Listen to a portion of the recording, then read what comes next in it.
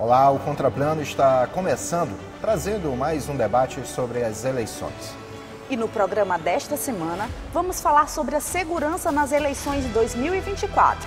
Participam deste debate conosco o assessor de segurança institucional e inteligência do Tribunal Regional Eleitoral do Maranhão, Coronel Alexandre Magno, e o comandante do 24º Batalhão de Infantaria e de Selva, Coronel Peixoto. É o que vamos discutir no Conta Plano Especial Eleições desta semana.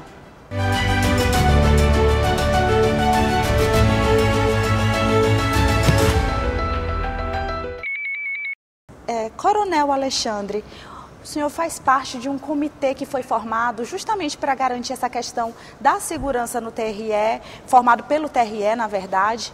É, o que, que, é esse comitê de segurança que o TRE forma? Quem participa? O senhor pode explicar para a gente um pouco?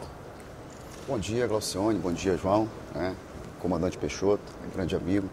Então, é, o Comitê de Segurança da, das Eleições de 2024, ele foi né, instituído aí por meio da portaria 1141, né, agora de julho deste ano, é, o presidente do Tribunal Regional Eleitoral, o desembargador José Gonçalo Filho, ele elencou ali né, um rol de 24 participantes né, de instituições diversas aqui no nosso estado, num total aí de 15 instituições, 15 órgãos participam desse comitê. E o comitê ele tem ali como competência, né, como atribuição, é, inúmeras é, perspectivas. Né? Dentre elas, é, ali coordenar os trabalhos, as ações de segurança, né, que serão desenvolvidas pelo planejamento previamente elaborado pelas instituições. Cada órgão que compõe esse comitê, ele está ali elaborando um planejamento que será apresentado durante todo esse período, né, até as vésperas das eleições. E nós, né, lá no Tribunal Regional Eleitoral, iremos fazer um planejamento integrado, um planejamento em que todos esses planejamentos entregues por esses órgãos serão compilados ali e coordenados de forma a compartilhar essas informações com todos os envolvidos ali nesse contexto. Né? Também é, o comitê tem como atribuição é intermediar o contato entre as forças de segurança e também todos aqueles envolvidos do sistema de justiça. Nós sabemos que atuar com segurança é atuar de forma conjunta. Né? E a participação de todos esses órgãos ali unidos, né, reunidos, inclusive no dia da eleição, né, facilita a comunicação e a interação entre as pessoas que ali compõem. E por isso nós tivemos já a primeira reunião desse comitê, no dia 13, né, o comandante Peixoto é, está lá como representante também desse comitê, com o 24 bis. Nós temos a representação do 50 bis, que é um outro batalhão que atua aqui no Estado, e depois, certamente, o comandante Peixoto irá detalhar melhor essa atuação do Exército Brasileiro aqui né, nas eleições de 2024. Aí, Ministério Público, Polícia Militar, Polícia Federal, Polícia Rodoviária Federal, né, Corpo de Bombeiros, enfim, todas as instituições que estão aí diretamente envolvidas nesse processo, com a finalidade de gerenciar ali os potenciais riscos e ameaças que possam vir a ocorrer né, durante todo o processo eleitoral. Certo. Quando o senhor fala em potenciais riscos e ameaças, assim, para o telespectador entender, quais os, os, principais riscos e ameaças que a nossa eleição pode sofrer?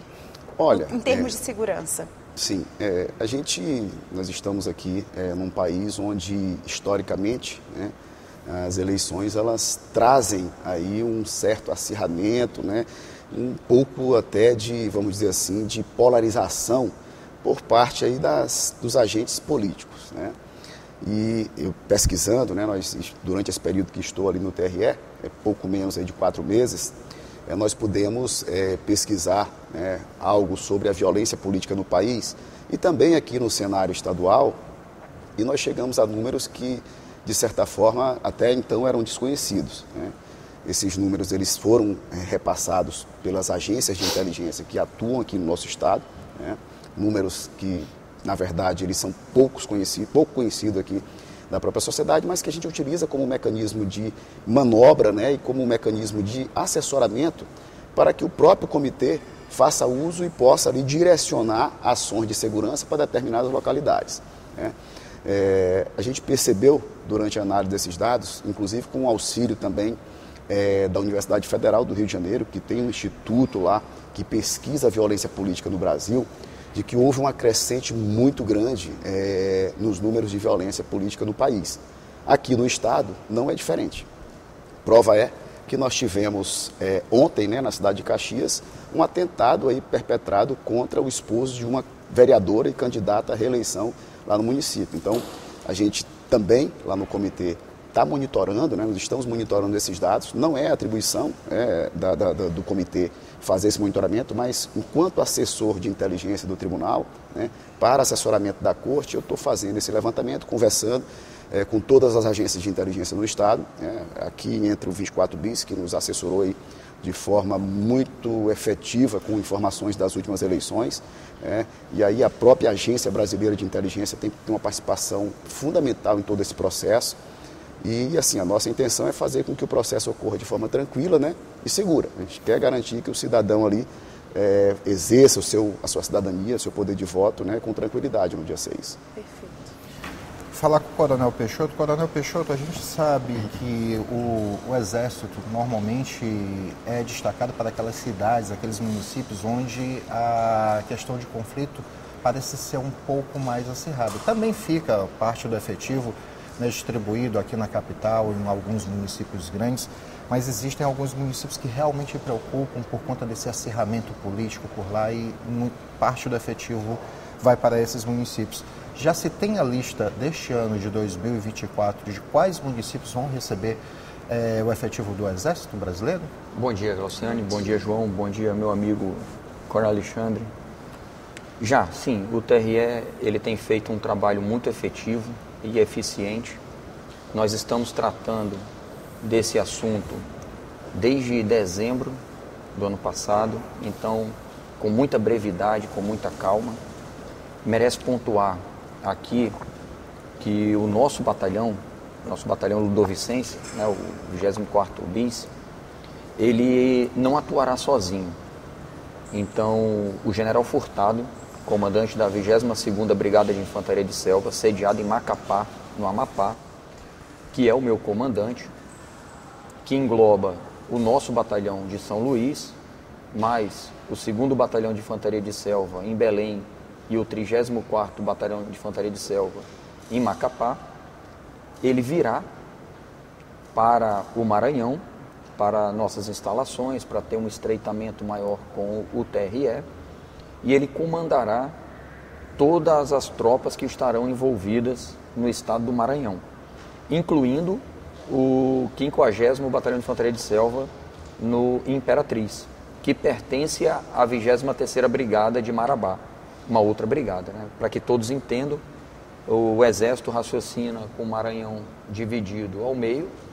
No norte, o 24 bis, com a 22ª Brigada, e a sul, os 50 bis, com a 23ª. Dessa maneira, ele vem aqui, assume, ele reúne as tropas do 34 bis, ele vai trazer tropa de Macapá, tropa de Belém e vai utilizar as tropas de Imperatriz, para que a gente possa, como o próprio Coronel Alexandre falou, fazer umas eleições seguras.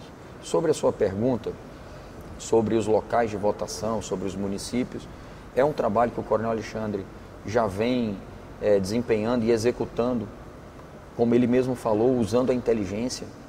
Então a gente, em trabalho conjunto, desde o ano passado, a gente tem procurado reunir a maioria das agências possíveis que têm informação de inteligência para assuntos diversos.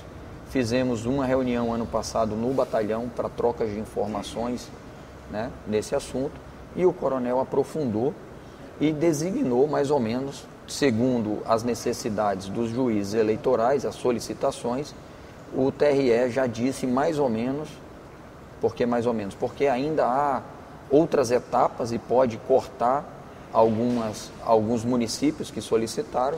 Podem entrar alguns e saírem outros? Pode, a cargo do TRE.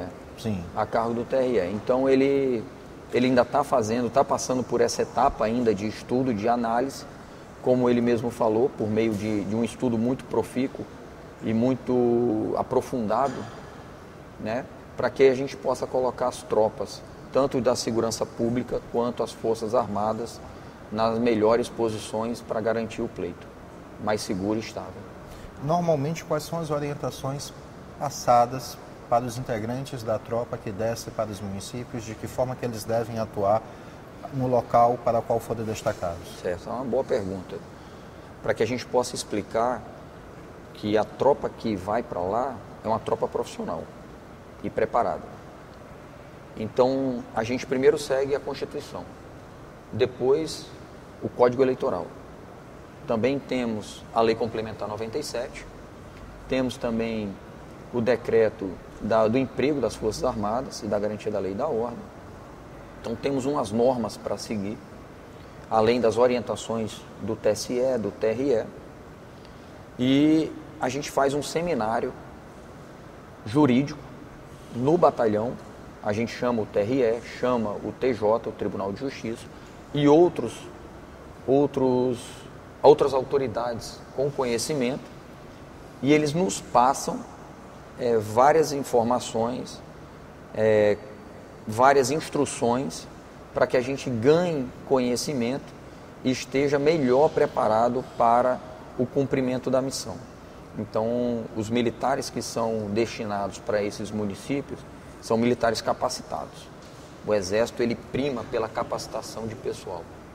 Então, antes, e isso vai começar agora em setembro com mais efetividade, nós temos diversas instruções já montadas, isso já vem de longo tempo, e que a tropa ela recebe essa informação, ela é preparada intelectualmente, é, depois a gente faz uma preparação específica nossa dentro das unidades e lança-os nos municípios solicitados aí pelo TRE. Certo. Não? Coronel Alexandre, qual é o critério que o TRE utiliza para designar forças especiais como o Exército para certas localidades? Bom, é, existe é, uma rotina já do tribunal, é um fluxo já pré-determinado, né? onde os juízes eleitorais eles encaminham né, durante o, a, o período que se inicia o processo eleitoral aquele, aqueles municípios que necessitam de força federal. Né. Esse período ele foi compreendido ali entre abril até maio. Né. O Tribunal Regional Eleitoral recebeu esses, esses pedidos né, e foi em torno de 136 pedidos, né, num total de 133 municípios. Né? Então, isso mostra que até a capital, né, até São Luís, é, solicitou o apoio de, do emprego de Força Federal. Né? Esses pedidos eles foram analisados e encaminhados pelo Pleno do Tribunal ao TSE. O TSE, por sua vez, está em fase de análise desses pedidos e irá decidir né, se vai fazer uma redução ou se irá manter né, a totalidade dos pedidos. É, o que a gente tem de informação até agora é de que possivelmente acontecerá aí uma redução, dado o histórico né, dos últimos anos, das últimas eleições, que o TSE sempre fez esse, essa redução, né, faz uma glosa analisando ali a quantidade, porque isso empreende uma série de recursos né, que o próprio Tribunal Superior Eleitoral precisa repassar né, ao, ao Exército, né, há um emprego, a mobilidade como o Coronel Peixoto falou agora há pouco, né, de uma tropa que vem de outros estados para reforçar aqui a aplicação do Exército no estado do Maranhão e isso demanda de um recurso, né, demanda aí uma série de outros fatores que influenciam nesse processo. Né. Em conjunto né, com a atuação das forças federais, e aí que envolve também a própria atuação da Polícia Federal, né, nós temos aí a Polícia Militar, que já está aí presente né, em todo o estado, nos 217 municípios. É, o Corpo de Bombeiros também vai atuar né, em complementação ao emprego da, da Polícia Militar, Polícia Civil, enfim. Todas essas, o Centro Tático Aéreo tem um papel fundamental aí no processo, sobretudo na véspera da eleição, com a questão aí da, da testagem das urnas, né, do teste de integridade. Então, assim, a gente, de forma muito confiante, entende que as forças que atuam aqui no Estado, elas conseguirão, sim, dar todo o suporte necessário para que a gente tenha aí uma eleição tranquila. Perfeito. É, eu queria conversar também com o Coronel Alexandre para falar a respeito agora já das urnas. Né? Como que é resguardada a segurança dela, a integridade das urnas. Mas nós vamos tratar sobre o assunto daqui a pouco no próximo bloco. Momento do nosso primeiro intervalo no Contraplano, já voltamos com a nossa conversa.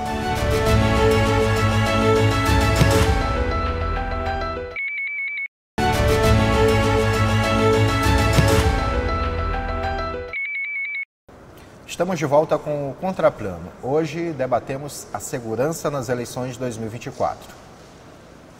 No intervalo do primeiro para esse segundo bloco, eu me dirigia justamente ao nosso entrevistado, o Coronel Alexandre, falando a respeito das medidas de segurança né, para a integridade das urnas eletrônicas. Quando eu falo isso, é porque já aconteceram alguns episódios de locais de votação, anos anteriores, serem invadidos na madrugada, né, é, as pessoas danificarem a rede elétrica e aí ser chamada uma equipe de eletricistas para corrigir essa falha no local, para que o local pudesse funcionar plenamente. Então, a respeito justamente disso, como é que é que, que já está sendo é, discutido, planejado, é, estão sendo planejadas essas medidas de segurança para garantir a integridade não só das urnas, mas também dos locais de votação? Bom, João, a gente tem aí um planejamento prévio, né? E durante esse período, agora, as urnas elas já estão deslocando né, para os municípios. Né? Tem um cronograma que está sendo cumprido à risca quanto a isso. A gente monitora isso daqui. Lá elas ficam guardadas né, nos fóruns eleitorais, do, nas zonas eleitorais no interior do Estado, né? quando não, em alguns fóruns também da Justiça Estadual, com segurança 24 horas. Né? Durante esse período, eh, elas passarão aí por uma série de medidas, desde manutenção até chegar aquele período que existe o cargo, a carga lacra, o carga lacra né, uhum. da, das urnas. Eh, a véspera do dia da eleição, elas serão deslocadas para os locais de votação. E aí sim nós teremos então já a segurança fazendo ali a guarda antes e durante o dia da eleição. Né? A Polícia Militar ela vai nos auxiliar nisso, né? O comandante da Polícia Militar, na reunião preliminar, ele já informou a existência de 7 mil homens que serão destacados para as eleições, somente para atuarmos ali no dia das eleições, é, uma atuação efetiva durante esse, o sábado e o domingo, e que vai se estender também, com certeza, até o dia seguinte, né, dependendo ali da orientação que o juiz eleitoral der, né, eles ficam ali à disposição do juiz eleitoral durante o dia da eleição. É, e o que a gente tem aí é, de perspectiva mais próxima, né, é também uma orientação ali de agências de inteligência auxiliando e verificando onde possa ter alguma medida que tente ali contra a segurança dos locais e também é, esses atos que acabam surgindo de última hora ali que tentam evitar ali a desenvoltura da normalidade do pleito eleitoral. Né? Até agora a gente não tem registro de qualquer possibilidade desse tipo de ação, como ocorreu em outrora mas que sim, a gente está monitorando e nós iremos sim, com certeza, estar tá acompanhando todos esses eventos. O senhor falou que o transporte já está sendo feito. Quem está fazendo esse transporte? O próprio TRE. Né? Nós temos servidores né, e, também veículos do próprio TRE que já estão fazendo esse translado das urnas aí desde o mês de julho. Então, isso já está em desenvolvimento e até agora sem qualquer intercorrência. Certo. Queria aproveitar, Grau, ainda e falar agora com o Coronel Peixoto a respeito do planejamento que é feito dentro do, do, do, Exército Brasileiro. Os militares, como é que é? O senhor falou que algumas formações estão sendo realizadas, palestras né, é, sendo feitas junto a, a, aos militares. Como é que acontece isso? Como é que é feito? O que, que é repassado a eles? Muito bem, João. Então a gente, a gente planeja no nosso quadro de trabalho, a gente planeja a realização de um simpósio jurídico como eu expliquei, e a gente conversa, tem uma conversa com diversos juristas e especialistas na área, seja do Ministério Público, militar, estadual, o Tribunal Regional Eleitoral, o Tribunal de Justiça. Então a gente vai convidá-los é, com os assuntos que nos interessam, a preparação dessa tropa, e a gente coloca todos os militares envolvidos. O general Furtado, ele fica em Macapá, como eu falei, mas ele já iniciou as tratativas com o Tribunal Regional Eleitoral e também com o Tribunal de Justiça, desde que assumiu o comando em dezembro. Então, em dezembro, ele já fez uma primeira visita aqui em São Luís e já visitou os desembargadores presidentes desses tribunais, estreitando os laços. Ele, toda vez que ele vem de Macapá para cá, ele faz as visitas constantes ou as visitas periódicas para estar tá sempre conversando, tanto com o Coronel Alexandre quanto com os desembargadores presidentes. Então já semana, essa semana a gente teve uma outra reunião onde o general Furtado participou, né, para tratar esses assuntos. Eu gostaria também de pontuar como a gente faz a, o planejamento. Então, de dezembro, desde dezembro, a gente pegou o relatório que a gente tem do batalhão, que eu vou ficar com uma parcela do Maranhão. Eu não fico com todo o Maranhão. Então, o 2 Batalhão de Infantaria de Selva vai ficar numa área, o 34º Batalhão de Infantaria de Selva na outra, o 20, 24º BIS numa outra e o 50 BIS mais a sul numa outra. A gente pega, normalmente, o que a gente faz? A gente ainda não tem as informações que o TRE precisa nos passar. Nem o TRE ainda tem as informações. A gente parte do planejamento passado como uma média. Então a gente começa a calcular gasto de combustível, quanto a gente vai empregar de tropa, quanto a gente vai precisar de comida, de diária, de aeronave. Tudo isso é planejado de maneira muito minuciosa, com o histórico dos anos anteriores. E a gente vem trabalhando esses dados ao longo do tempo, após as visitas do nosso comandante, né? E que a gente vai chegando a um denominador. Então, nessa semana, a gente é, praticamente já fechou o nosso planejamento logístico, que já está muito avançado, né? É simplesmente aguardando algumas definições para que a gente possa é, colocar em prática. Para e passo a isso, temos também a preparação individual. Então, o batalhão do o nosso batalhão aqui de São Luís, nós já sabemos quem são os militares, já estão escalados, quem vai participar, e eles começam de maneira individual a fazer uma preparação, que é o estudo daquelas normas e leis que eu citei anteriormente. Bem como também a gente já tem instruções anteriores que norteiam essa preparação, para que o simpósio tenha um, uma efetividade maior. Eles já cheguem com um grau de conhecimento muito maior. Então, o nosso comandante militar de área, que é o general Vendramin, que ele fica, é o general de exército, ele fica em Belém, ele comanda todas as tropas do Pará, Amapá e Maranhão, tá certo? Que abarca também o norte ali do, de Tocantins. Ele está muito preocupado com, a, com as operações e o militar muito inteligente que já passou as suas orientações para o comandante de brigada, que é o general Furtado, e está muito avançado nesse planejamento e nesses contatos. Então a preparação intelectual é como eu expliquei, e a gente também tem a preparação logística para atender as necessidades do TSE e TRE, bem como as nossas na hora de colocar os homens na posição. Só contribuindo claro. aqui com. Pois não, pois me permite? Claro, né? Contribuir aqui com o Coronel Peixoto, né? Ontem mesmo, o general Vendramin, que é o comandante militar do Norte, né? Ele fez uma reunião por meio de videoconferência com o desembargador José Gonçalo, né, presidente do TRE, e uma reunião de aproximação, como ele mesmo disse, e já ficou ali estabelecida uma visita dele aqui à, à capital, em São Luís, e se colocou à disposição também até o desembargador Gonçalo, até para que o próprio TRE, com os juízes auxiliares, possam ir lá ao batalhão, facilitar, né, orientar os militares quanto a essa questão dos crimes eleitorais, nessa perspectiva. Na mesma toada, nós já nos comprometemos também com a Polícia Militar de fazer também ali palestras aos policiais que vão atuar nas eleições sobre também crimes de menor potencial ofensivo, os crimes eleitorais em geral, até porque a Polícia Militar foi autorizada, né, por meio de resolução do próprio TRE, a lavrar o termo circunstanciado de ocorrência. Né? Então isso vai facilitar, vai ajudar bastante a atuação, sobretudo naqueles municípios onde não se tem a Polícia Civil né, e nenhuma atuação da Polícia Federal. Então isso vai dar uma maior tranquilidade àquela população que vai estar ali na véspera e no dia da eleição né, para combater aqueles crimes que são muito comuns nas vésperas.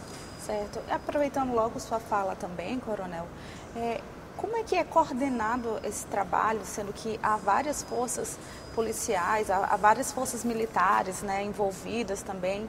Com, quem comanda, ou se não é um comando, quem coordena essas forças militares e, e, policiais, como é que é feito esse trabalho da coordenação? Porque cada, é, cada instituição tem a, a, quem a hierarquia da instituição precisa obedecer o seu planejamento próprio, apesar de é, agir integradamente, mas quem é que faz essa coordenação principal e como é que ocorre para que cada um exerça o seu papel? Olha, é, o tribunal ele respeita, lógico, obviamente, né, a independência né, e o comando né, de cada instituição. Né?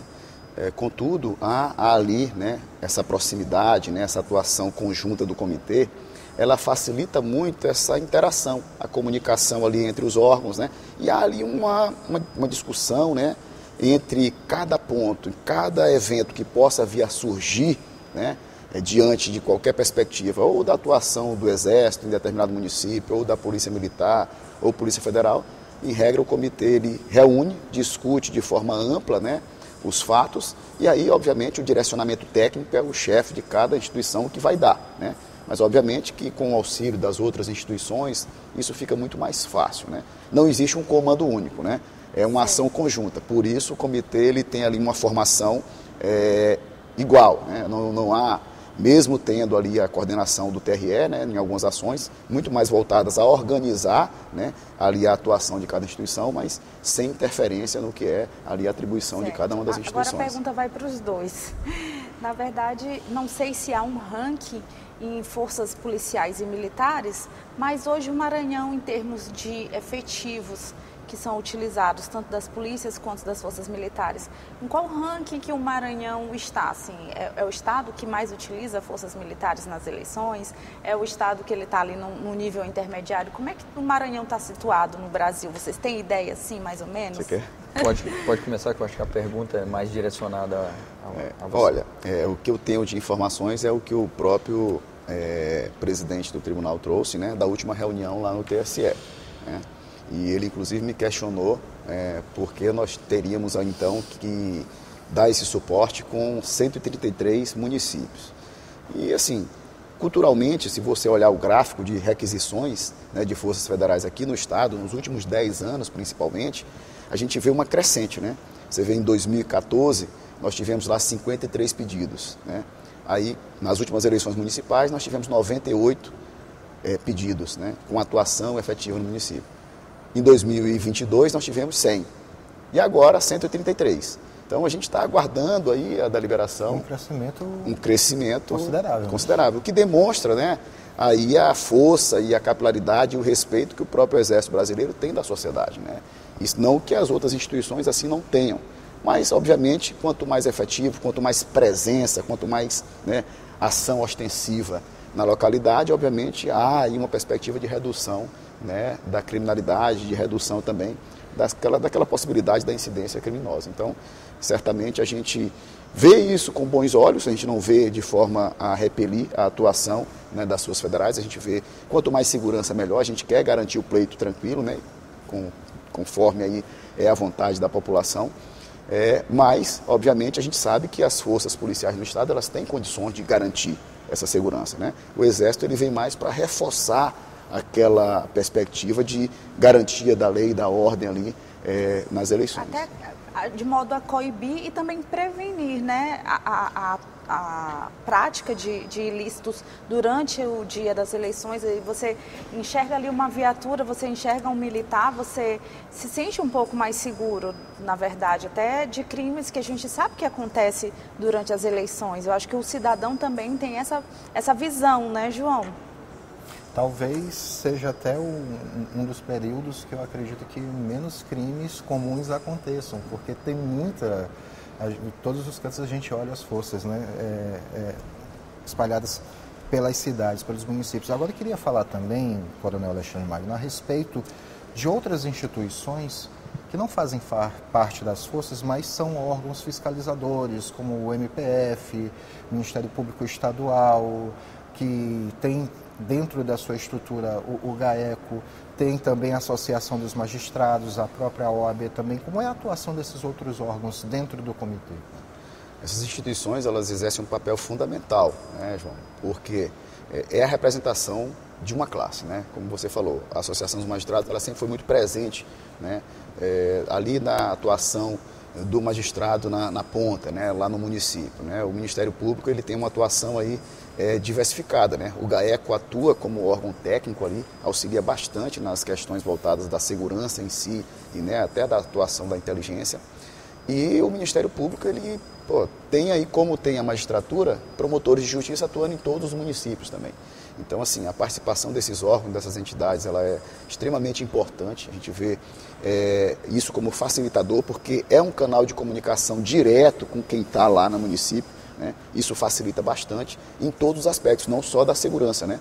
E isso facilita também para as forças de segurança, porque essa aproximação né, das forças de segurança, dessas autoridades, que é quem realmente conduz ali o processo no dia da eleição, vai trazer para a gente um conforto maior né, de decidir uma atuação ali de forma é, é, pacífica e no entendimento comum entre os órgãos. Tá? Então a gente é, certamente vê com muito bons olhos e fica mais tranquilo né, em tomar qualquer decisão com a presença de todas as instituições.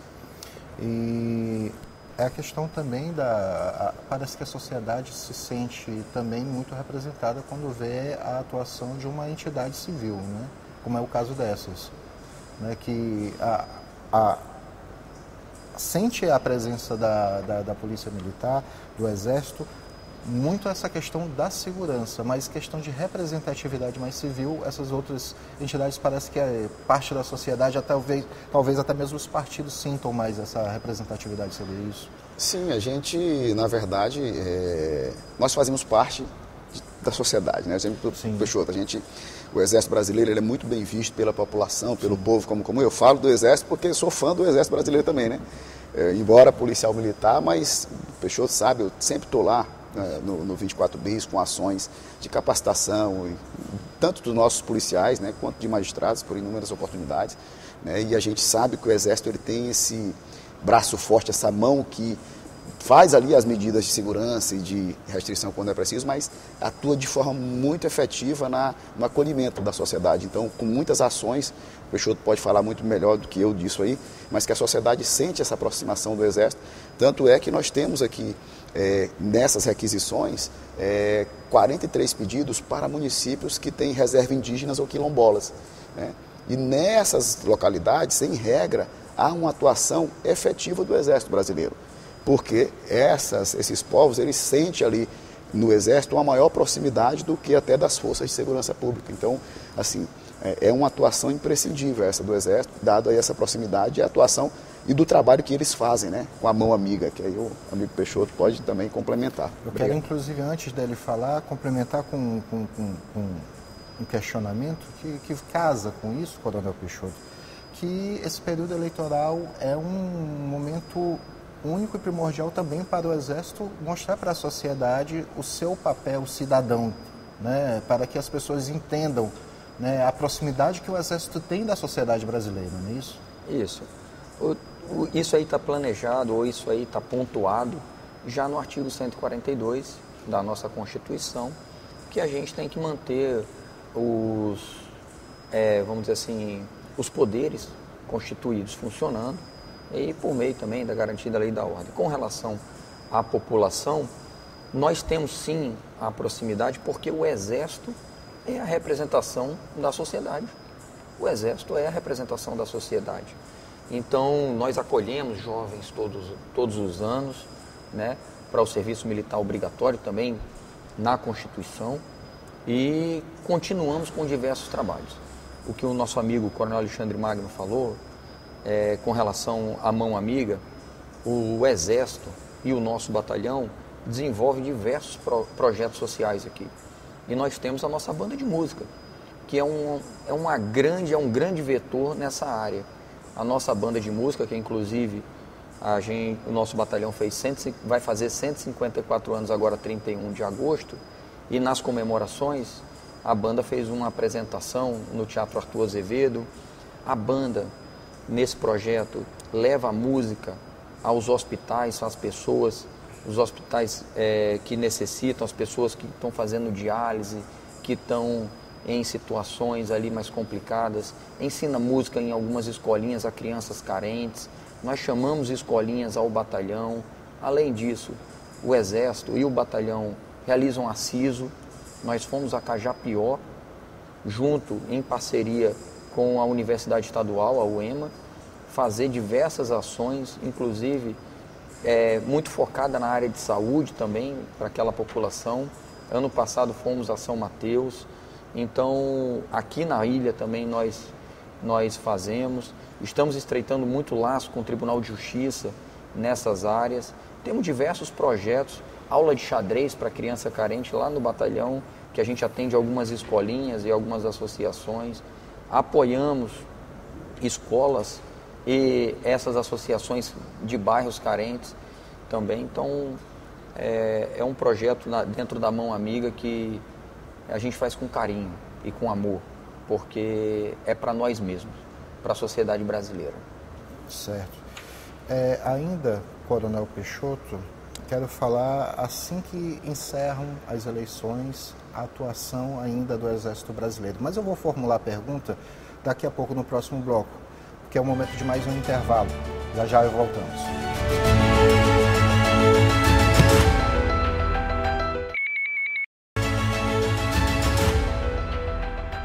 Contraplano de volta para o último bloco, hoje debatendo a segurança nas eleições 2024. Participam desse debate o assessor de Segurança Institucional e Inteligência do Tribunal Regional Eleitoral do Maranhão, Coronel Alexandre Magno. E o comandante do 24º Batalhão de Infantaria de Selva, 24 bis, Coronel Peixoto. E foi justamente com o Coronel Peixoto que eu falei no encerramento do bloco anterior, Coronel, eu queria falar a respeito do, da partir do momento que encerra-se a votação. Como é que se dá ainda a atuação do Exército? Encerrou a votação, já recolhe de volta, as tropas recolhem de volta para o batalhão, permanecem ainda na localidade, seja a pedido do TRE ou por conta de, do planejamento? Como é que é? João, a gente, nós permanecemos na, na localidade, na reunião, ainda vai haver uma reunião, recolhimento das urnas, centralização, apuração, e nós permanecemos até que o TRE ele nos diga que nós podemos retornar para nossas guarnições. Então, nós aguardamos o TRE e aguardamos o fecho do juiz eleitoral naquela localidade para que a gente possa ir, vamos dizer assim, dando pronto para o nosso comandante que estará em contato direto, como eu falei, né, o general Furtado vai estar aqui em São Luís e ele vai estar direto com o TRE nessa, né, tratando de diversas questões e uma é essa que você pontuou. Então, assim que o, as eleições naqueles municípios forem encerradas, o juiz eleitoral dê como encerrada, o TRE ele conversa com o general Furtado, que vai nos dando a ordem para o retraimento. Certo, certo. Coronel Alexandre, é, de que forma que o cidadão comum ele pode contribuir na garantia da segurança e da ordem durante a, o, o, dia da eleição e durante esse período eleitoral? Bom, Luciane, a gente sabe que o eleitor, né, o cidadão comum, ele quer sair de casa e exercer a sua cidadania ali com tranquilidade, né, com segurança. E quando há né, qualquer tipo de adversidade no meio desse processo, onde ele é frustrado ali a sua pretensão, ele vai, obviamente, procurar os órgãos de controle. Né? E aí existem uma série de mecanismos que o, mecanismos que o TSE criou, né, por meio de aplicativos, por meio de resoluções, que possibilitam o cidadão a fazer, então, aí denúncias e registros. Né? O próprio aplicativo Pardal né, foi agora, no último dia 16, é, reativado né, e possibilita ali, então, que você baixando o aplicativo né, e acessando ele por meio é, ou do GovBR ou do e-título, o cidadão possa ali fazer denúncias, né, possa fazer registros também de desinformações. Então, assim, é, o próprio TSE ele traz uma série de dispositivos né, e orienta os tribunais regionais eleitorais a facilitar esse acesso é, à informação e também de desinformação. Né? O Barrador Gonçalo, ele sempre diz nas falas dele de que a melhor forma de se combater a desinformação é com a informação correta e efetiva para o cidadão. Então, é, o tribunal tem buscado, né, por meio de audiências públicas em algumas localidades no interior do estado, chamar a sociedade, né, inclusive também a classe política, para discutir sobre os diversos temas, inclusive também sobre segurança. Né. Nós tivemos uma primeira audiência em Imperatriz, né, no mês de junho ainda, sobre segurança. Tivemos semana passada em Cândido Mendes, uma cidade onde o acirramento das disputas, das, disputas eleitorais elas estão bem intensas. Né? E teremos aqui na semana que vem, é, no dia 5, em Timon, e no dia 6 em Barra do Corda, né? assim contemplando as diversas regiões do Estado. Né? A gente tem uma análise, como eu falei inicialmente, né, de dados de municípios em, em todo o Estado, e essas regiões elas foram indicadas como regiões imprescindíveis para uma atuação é, preventiva da, do Comitê de Segurança. E por isso essas cidades, essas localidades foram aí então escolhidas. Perfeito. Coronel Peixoto, é, queria saber do senhor a respeito do envio das tropas. Já tem uma data certa para as tropas serem enviadas aos municípios que solicitaram as forças ou ainda está sendo discutido é, dia e sendo... horário? Desculpe, João. É isso mesmo, João. A gente ainda está na fase de planejamento.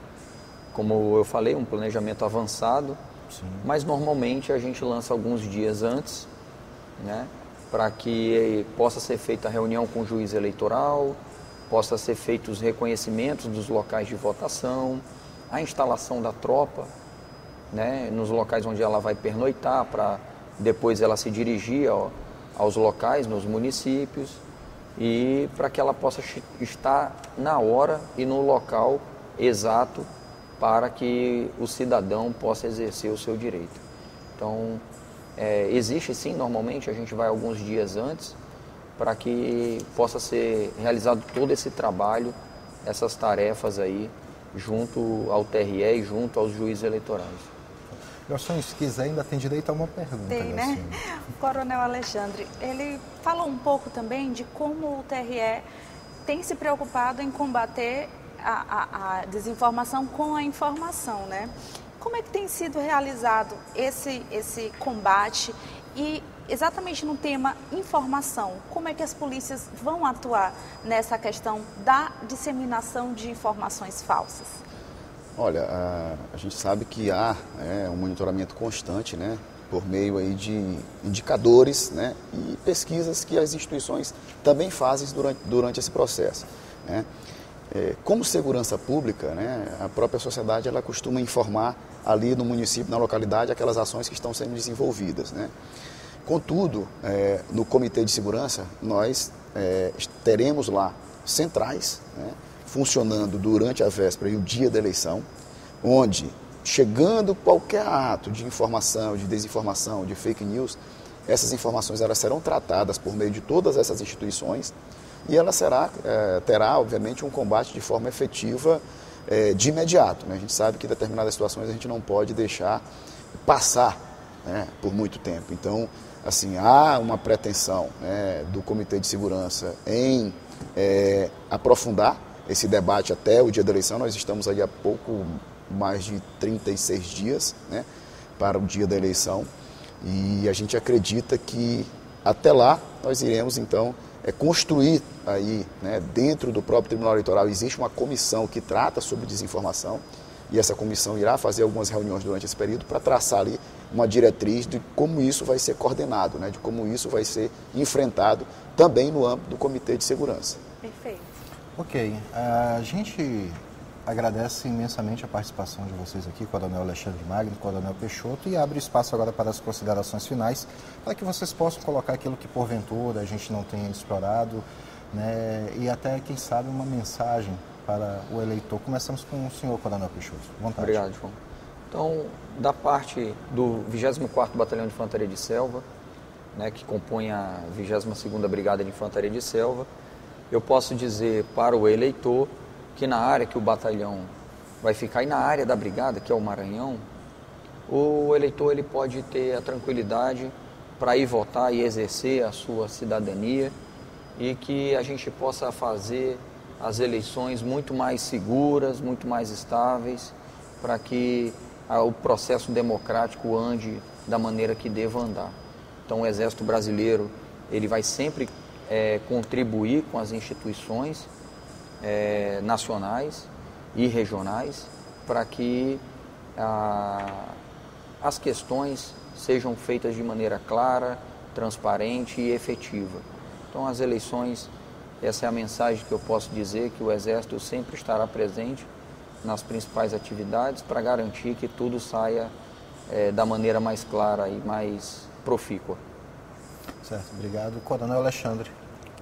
Bom, eu só agradeço a oportunidade de estar aqui hoje, né, com os senhores, com a senhora, né, o comandante Peixoto é um grande amigo. É, dizer que é, nós estaremos lá, sim, né, contribuindo, né, fazendo o nosso papel é, enquanto assessor de segurança e inteligência do TRE, né, dando todo o suporte às instituições de segurança que lá estarão conosco durante esse processo. E dizer que o compromisso né, da segurança ele é com a lisura do processo eleitoral. Todos nós estamos atuando ali de forma conjunta, de forma ordeira, para que o pleito ele aconteça da forma mais limpa, segura e tranquila possível. Né? Então, a mensagem que a gente deixa é essa. Nós iremos continuar trabalhando né, intensamente até o dia da eleição para que a gente possa proporcionar aí à população né, a tranquilidade de sair de casa e exercer o seu direito de cidadania com segurança. Certo. Mais uma muito vez, obrigado. muito obrigado a todos obrigado. Né, aqui pela sua presença contribuindo conosco. É verdade, obrigada. Obrigado. Chegamos ao fim do Contraplano de hoje. Você pode assistir a reprise desta edição em nossa programação ou em nosso canal do YouTube, TV Assembleia Maranhão. Nós voltamos com uma nova discussão no Contraplano Especial Eleições da semana que vem. Até lá, faz bem.